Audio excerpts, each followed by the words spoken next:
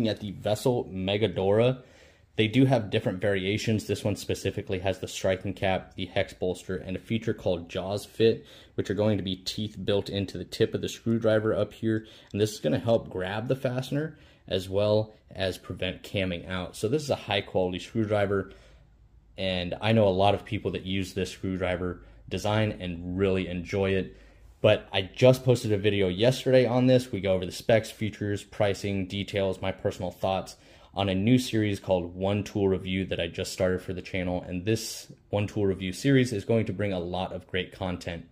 Yesterday's video is specifically on this screwdriver, but in upcoming One Tool Review videos, we will be going over different brands, quality ranges, price ranges, a lot of good content to come. So definitely make sure to check it out. Don't miss out. I'll also have this link down in the description or in the comments if you guys are interested. Keep in mind, they also have a different variation.